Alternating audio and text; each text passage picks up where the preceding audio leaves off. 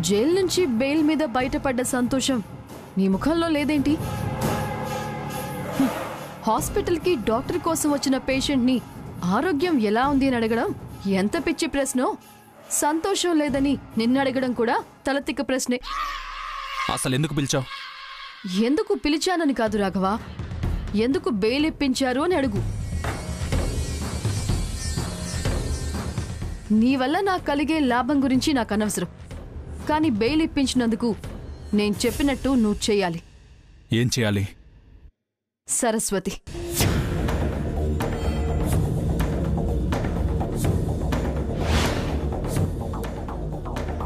ఏ పెళ్ళి పీటల మీద నుంచి సరస్వతి నిన్ను వదిలి వెళ్ళిపోయిందో అదే పీటల మీద అదే సరస్వతి పక్కన నువ్వు కూర్చోవాలి అనేదే నా కోరిక.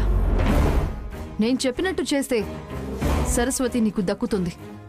అది నా సొంతం కావడానికి నేనేదైనా చేస్తాను.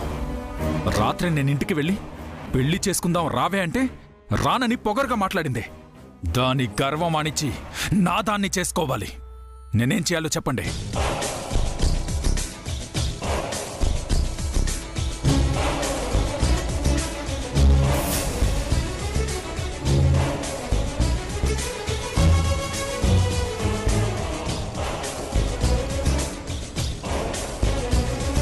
మీరు చెప్పిన దాంట్లో నాకు మాత్రమే లాభం కనిపిస్తుంది. మీకు కలిగే ప్రయోజనం ఏంటి? నీకు నా కలిగే ప్రయోజనం గురించి కావాలా? సరస్వతి కావాలా? హ్మ్, నా విషయం వదిలేసి సరస్వతి మీద కాన్సన్ట్రేట్ చేయి. సరే. రామరాజు మీద నీ పగ తీరాలని సరస్వతి వెనక్కి తిరిగి నీ దగ్గరకు రావాలని నేను మనస్ఫూర్తిగా కోరుకుంటున్నాను. ఆల్ ది బెస్ట్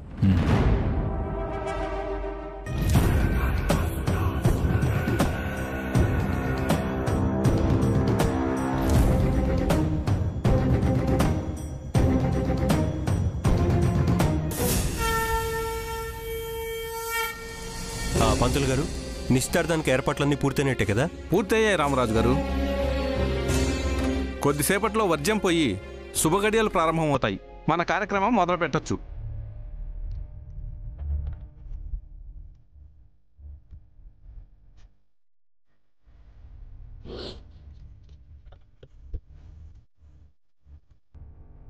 కార్యక్రమం మొదలు పెడదామా? అలాగేనండి. మీరందరూ సీత మాటను మన్నించి నా మీద గౌరవంతో నిశ్చితార్థానికి వచ్చినందుకు చాలా సంతోషం. నిశ్చితార్థం పూర్తయ్యే వరకు ఉండి పిల్లలిద్దరినీ ఆశీర్వదించి వెళ్ళండి. మీ దీవెనలు పెళ్ళి చేసుకోబోయే దంపతులకి చాలా ముఖ్యం. సరస్వతి ఆ నిశ్చితార్థానికి సంబంధించి నీ మనసులో వేరే ఏదైనా ఆలోచన ఉందా? అదేంటి? ఎందుకలా అడిగా? ఏం లేదు.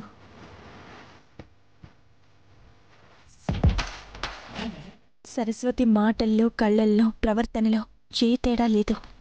సరస్వతి తనకు తానుగా ఈ నిశ్చితార్థాన్ని ఒప్పుకుందని దాక్షాయిని చెప్పిన మాటల్లో నిజమెంత?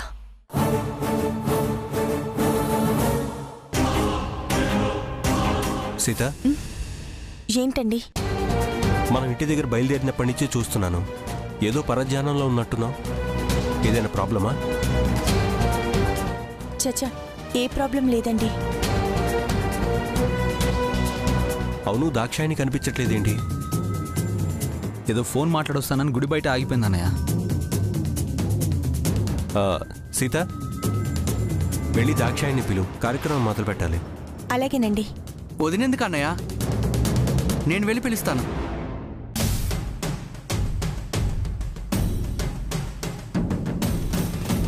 దాక్షాయిని డైరెక్ట్గా ఏంతో నాని ఫ్రెండ్స్తో చేయించిన పుకారు గురించి చెప్తుందా? లేక ఇంకేమైనా ప్లాన్ చేసి ఉంటుందా నాని ఆగు. నేను కూడా వస్తానుండు. నువ్వెందుకు సీత? వాడు వెళ్ళి దాక్షాయిని పిలుస్తాడులే. ఆ నానికి వేరే పని కూడా అప్పచెప్పొస్తానండి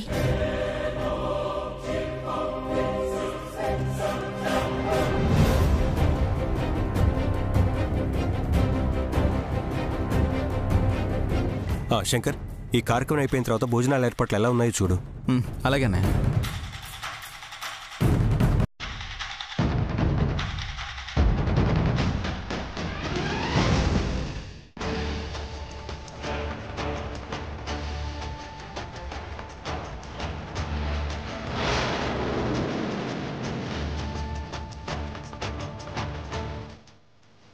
నాని నీతో కొంచెం మాట్లాడాలి. ఒకసారి అట్రా.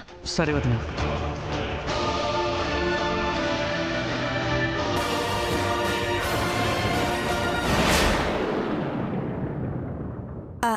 నీ ఫ్రెండ్స్ ఎక్కడున్నారు నాని? ఏ ఫ్రెండ్స్? సరస్వతి శ్రావణ్ల మీద చెడుగా ఊర్లో ప్రచారం చేసి నీకు హెల్ప్ చేసిన ఆ ఫ్రెండ్స్ ఎక్కడున్నారు? వాళ్ళ? ఇంట్లోనే ఉండుంటారు. ఎందుకు వదినా? వాళ్ళనేమైనా నిశ్చితార్థానికి రమ్మని చెప్పావా? నేనేం పిలవలేదు వదినా. అయినా నువ్వెందుకు అలా టెన్షన్ పడుతున్నావు? నాని సరస్వతి శ్రావణ్ల పెళ్ళి జరగాలన్న మంచి ఉద్దేశంతో నువ్వు నీ ఫ్రెండ్స్తో ఊర్లో పుకారు పుట్టించినా అది మాత్రం చెడే. చెడనేది విషం లాంటిది. తెలిసి చేసినా తెలియక చేసినా ఏదో ఒక రూపంతో అది మనల్ని బాధిస్తూనే ఉంటుంది. మనం చేసిన పొరపాటు జీవితాంతం మనల్ని వెంటాడుతూనే ఉంటుంది. నీ ఫ్రెండ్స్ వల్ల నిశ్చితార్థంలో ఏదైనా రభస జరుగుతుందేమోనని నాకు చాలా భయంగా ఉంది నాని.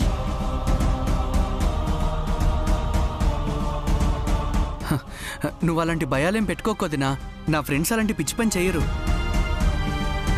కొన్ని పరిణామాలు మనం అంచనా వేయలేం నాని. శ్రావణ్ని మీ పెద్దన్నయ్య అపార్థం చేసుకుంటారని మనం ఊహించామా? పరిస్థితులు అలా చేశాయి. ఇది కూడా అంతే. మీ ఫ్రెండ్స్కి ఏ చెడు ఉద్దేశం లేకపోయినా పరిస్థితులు అక్కడి దాకా తీసుకుని వెళ్ళొచ్చు కదా? నా కోసం ప్రాణమైనా ఇచ్చే ఫ్రెండ్స్ వదిన వాళ్ళు ఎలాంటి పరిస్థితి వచ్చినా ఊళ్ళో వాళ్ళ ద్వారా నేను ప్రచారం చేయించానని నిజం బయటపెట్టరు ఎందుకైనా మంచిది. వాళ్ళకి ఫోన్ చేసి ఈ విషయం ఎక్కడ నోరు మెదపొద్దని చెప్పు. సరే వదినా.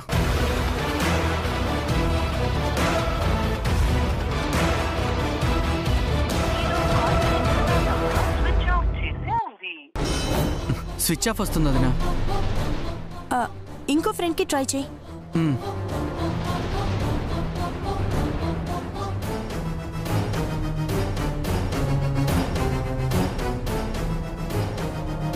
ఇది నాట్ రీచబుల్ వస్తుంది వదినా. హ, నాకెందుకో కంగారుగా ఉంది నాని.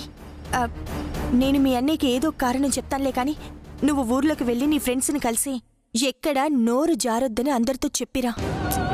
పర్లేదు వదినా వాళ్ళు అలా ఏం చేయరు.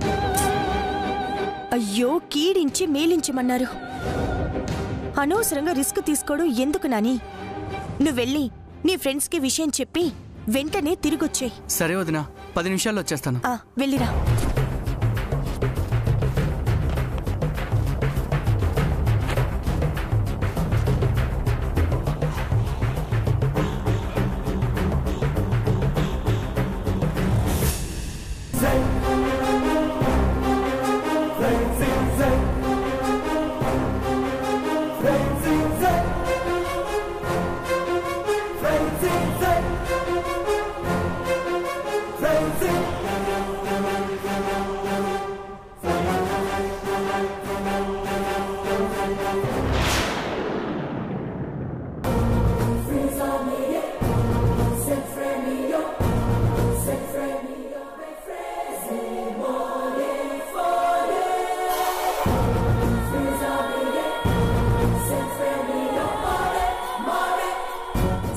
చేసి వస్తానని చెప్పి ఇంతసేపు ఇక్కడేం చేస్తున్నావు?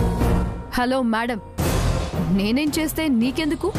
క్వశ్చన్స్ అడగడానికి లేట్ అయితే నిలదీయడానికి నేను నీకు స్టూడెంట్ని కాదు నువ్వు నాకు టీచర్వి అంతకన్నా కాదు. కోర్స్ కానీ నేను రామరాజు గారి ఫ్యామిలీకి పెద్ద కోడల్ని. ఆ ఇంటి గౌరవాన్ని నిలబెట్టాల్సిన బాధ్యత నా మీద పూర్తిగా ఉంది. నా కుటుంబంలో ఎవరైనా పద్ధతులు తప్పినా అమర్యాదగా ప్రవర్తించినా పరువు తీయాలని చూసినా దండించైనా సరే దారిలో పెట్టాల్సిన బాధ్యత కూడా నా మీదే ఉంది. సో కుటుంబ పెద్దగా నేను నిన్ను ప్రశ్న అడిగాను. చదువుకుంటే సరిపోదు సీత. జ్ఞానం ఉండాలి. ఫస్ట్ క్లాస్లో పాస్ అయితే కుదరదు. బుద్ధుండాలి. టీచర్ అయితే సంబరం కాదు. జ్ఞాపక శక్తి కూడా ఉండాలి. నేను ఈ ఫ్యామిలీలో మెంబర్ని కాదు మీ అందరికీ తలనొప్పిలు తెచ్చి వీధికి లాగి కుమిలి కుమిలి ఏడ్చేలా చేసే శత్రువుని అని. నీకెన్నిసార్లు చెప్పాలి సీత?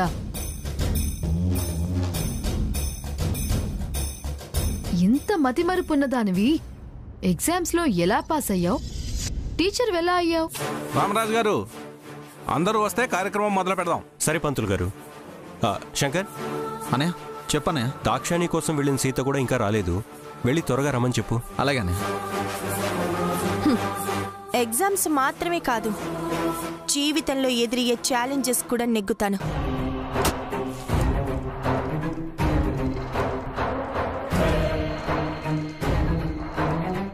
టీచర్గా స్టూడెంట్స్ని మాత్రమే కాదు కుటుంబ పెద్దగా ఫ్యామిలీని కూడా సరైన దారిలో పెడతాను.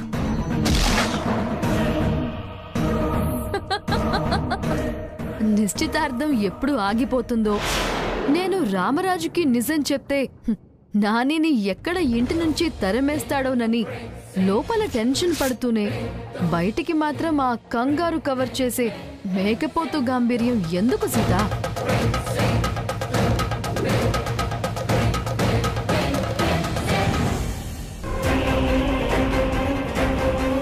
ఎగ్జామ్లో స్టూడెంట్కి ఒక్క ప్రశ్నకే సమాధానం రాయాలి అని చాయిస్లు ఇచ్చినట్టు. నీ ముందు ఒకే ఒక్క ఆప్షన్ ఉంది సీత. రెండో మరిది శ్రావణ్ నిశ్చితార్థం. నిశ్చింతగా జరగడమా?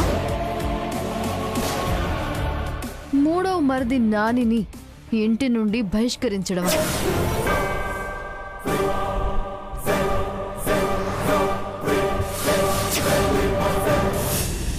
ఏదో ఒక్క ఆప్షన్ని మాత్రమే నువ్వు కాపాడుకోగలవు.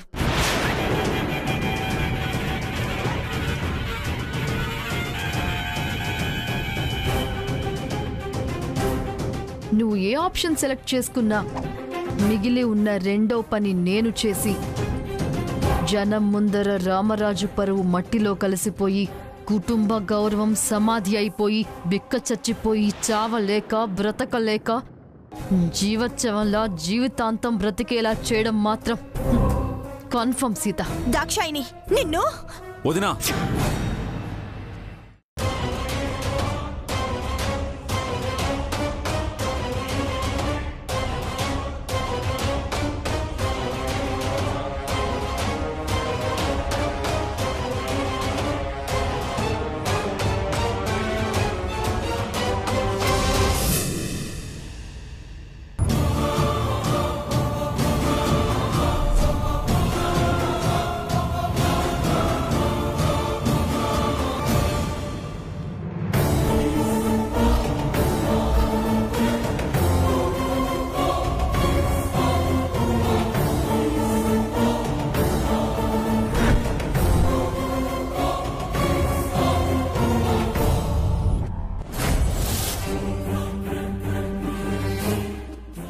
ఇద్దరు ఇక్కడేం చేస్తున్నారు? ఏం లేదు శంకర్. సరస్వతి శ్రావణ్ల గొడవ పెళ్ళి దాకా దారి తీసింది కదా అదే మాట్లాడుకుంటున్నాం. పంతులు గారి కార్యక్రమం మొదలు పెడుతున్నారు వదిన అన్నయ్య మీ ఇద్దరిని తీసుకురమ్మంటున్నారు. అలాగే నువ్వు వెళ్ళి.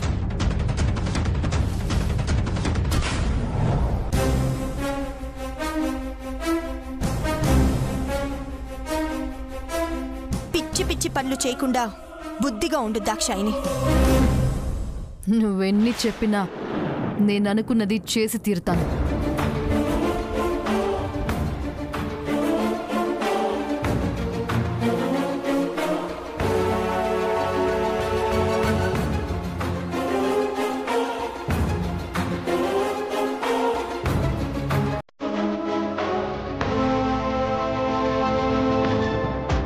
శంకర్ ఆ,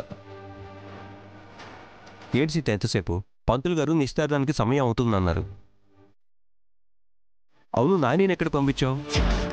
చిన్న పనుండి పంపించానండి.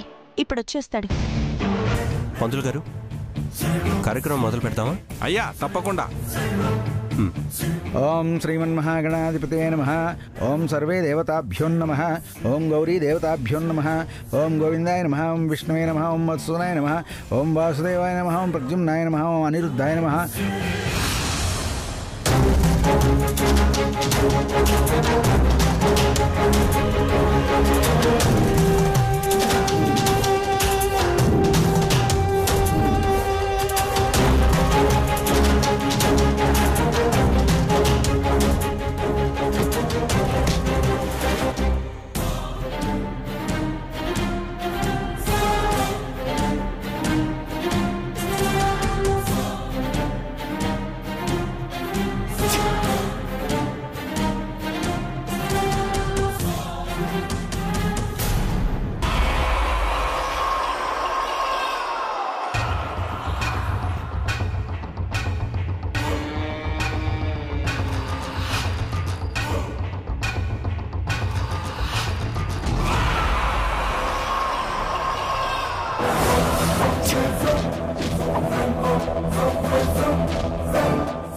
ఆగో ఆగో ఆగో.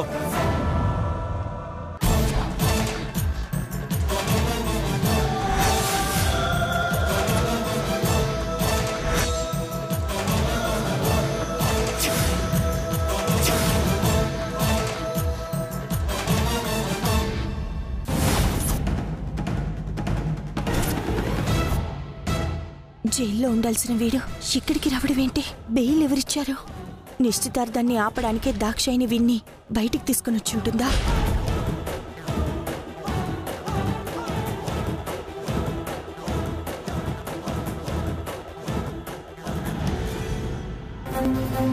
ఎందుకు వచ్చావు నిశ్చితార్థానికి వచ్చిన అతిథిని ఇలా అడ్డుకుని ఎందుకొచ్చావని అడగడం మర్యాద కాదనుకుంటా? శుభకార్యం జరిగే ఇలాంటి చోటుకి నీ నీడ కూడా వచ్చే అర్హత లేదు పోరా ఇక్కడి నుంచే మెడపట్టి బయటికి గెంటేయకుండా వీడితో మాట్లాంటానయా ఆగో.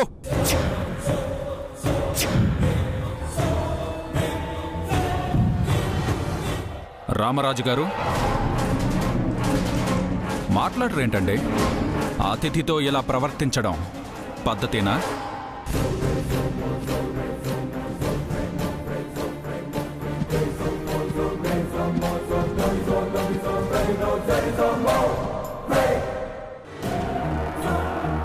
పద్ధతులు లేని నీలాంటి వాళ్ళతో మాటలు అనవసరం వీరు రాఘవ.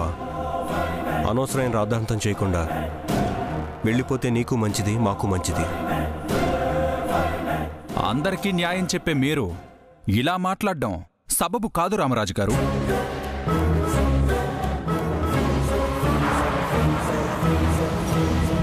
ఎదుటి మనిషిలో మంచిని తప్ప చెడు చూడని మీరు నిశ్చితార్థానికొచ్చిన అతిథిని వెళ్ళిపోమంటాం.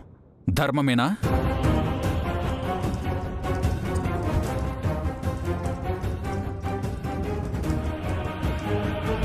రాయ్ న్యాయాలు ధర్మాలు నువ్వు చెప్తే తెలుసుకునే స్థితిలో మేం లే. ముందు ఇక్కడి నుంచి బయలుదేరు. ఊరందరినీ మీరే ఆహ్వానించారు. బంధుమిత్రులతో కలిసి రావాలని కోరారు. ఆ జనంలో నేను కూడా ఉన్నాను. అందుకే వచ్చాను.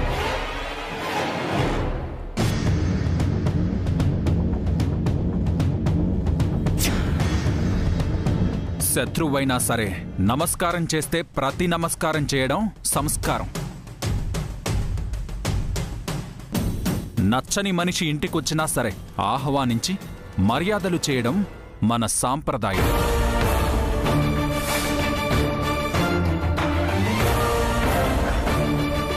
నాకు భార్యగా రావాల్సిన అమ్మాయిని మీ తమ్ముడికిచ్చి పెళ్ళి చేయబోతున్నారు.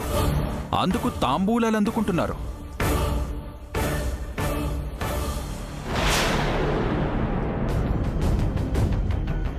నాతో జీవితం పంచుకోవాల్సిన అమ్మాయి మీ శ్రావణ్తో జీవన ప్రయాణం సాగించబోతుందని ఆశీర్వదించడానికి వచ్చాను.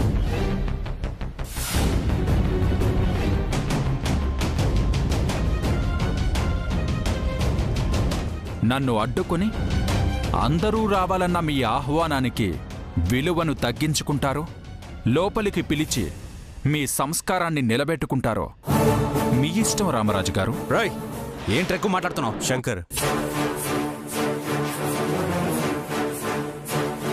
అతన్ని లోపలికి రానివ్వు. అన్నయ్య నువ్వు కూడా ఏంటి?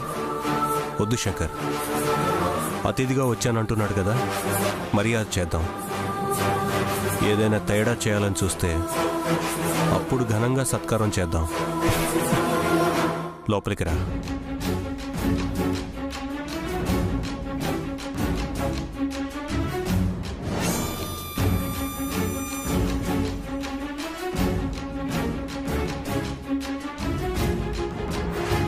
పంతులు గారు మీరు మొదలు పెట్టండి.